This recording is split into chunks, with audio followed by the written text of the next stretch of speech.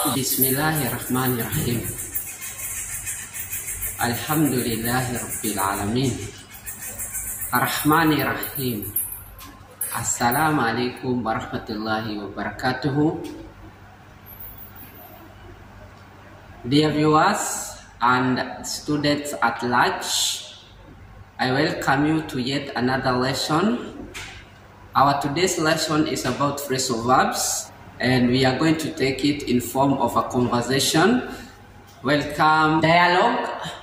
Dialogue. What were you two arguing about? What were you two arguing about? Nothing. Salma always makes a mountain out of a molehill. Once we cleared the air, we found out that it had been just a simple misunderstanding. Nothing. Salma always makes a mountain out of a molehill. Once we cleared the air, we found out that it had been just a simple misunderstanding.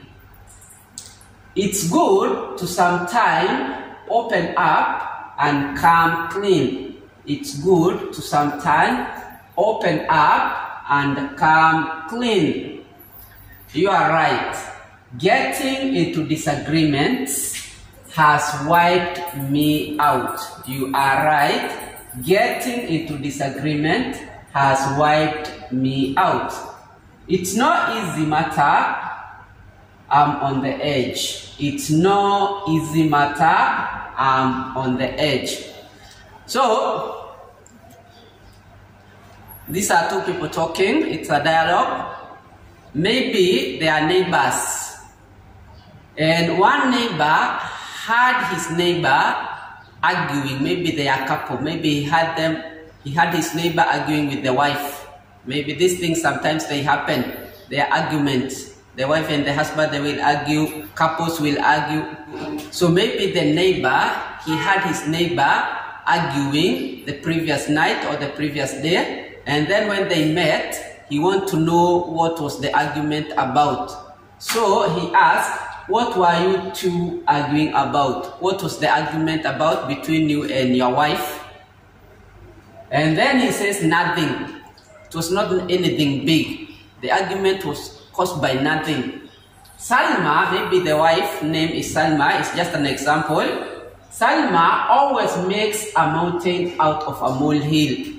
So my wife Salma, she always makes a mountain out of a molehill. To make a mountain out of a molehill, it means to overreact.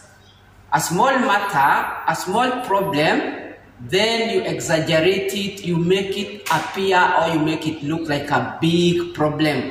This is what is called making a mountain out of a molehill.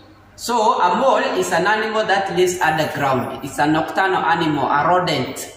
So it digs, when it digs, it puts the soil up like a small hill. Somebody who is making a mountain out of a molehill is somebody who likes to overreact, to make a small problem look big, but it's just small. Oh.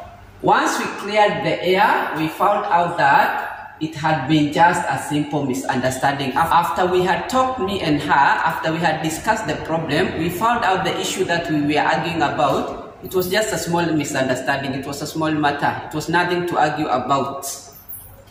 It's good to sometime open up and come clean. It is good to sometime open up and come clean. Nothing, Salma always makes a mountain out of a molehill. She always makes something small look very big.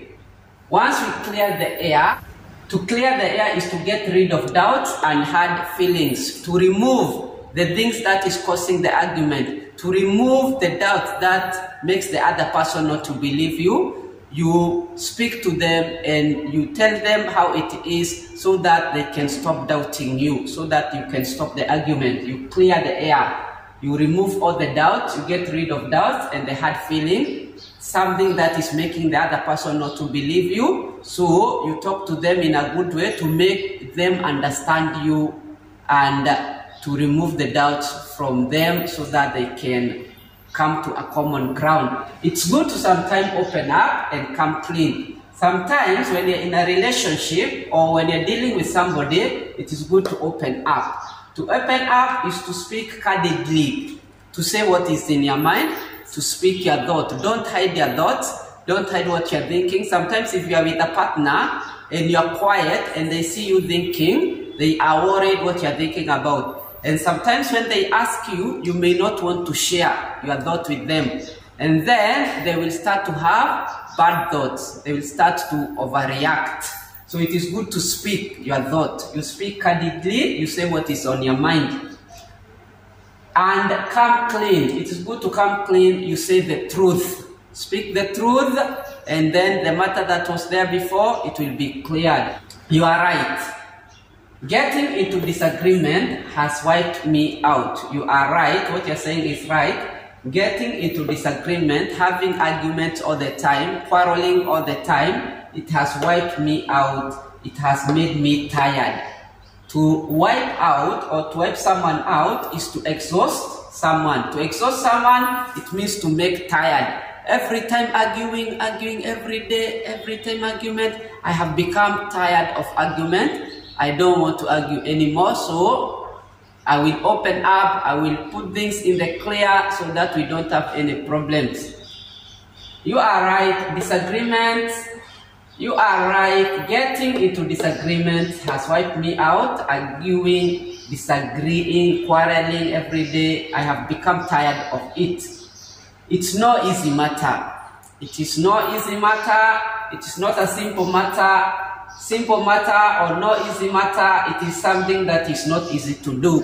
Always arguing with somebody, always arguing with somebody is not an easy thing to do. It is no easy matter. It is no simple matter. I'm on the edge. I'm on the edge. It means I'm very anxious.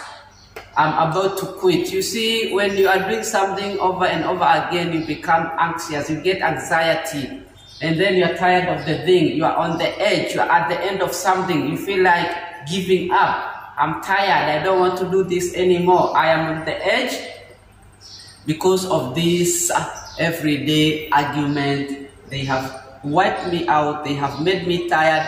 I'm on the edge now, I feel like giving up, I feel like quitting. So, to make a mountain out of a molehill is to overreact, to exaggerate, to make a small problem look like a big problem. To clear the air is to get rid of doubts and hard feelings. So you tell somebody what is going on so that they can stop doubting you and believe you. To open up is to speak candidly, to say your thoughts, to say your mind. Come clean is to say the truth. You come clean, you speak the truth wipe someone out to exhaust someone, to make somebody tired. It's not simple or no easy matter. It is something that is not easy to do. Arguing, arguing, arguing is not an easy thing to do. It will make you tired. On the edge, it means you feel like you are going to surrender, you are going to quit, you become very anxious. And this is where we are going to conclude our lesson for today. I hope you have had a good time. And until next time, wahada wabillahi taufiq. Assalamu alaikum warahmatullahi wabarakatuh.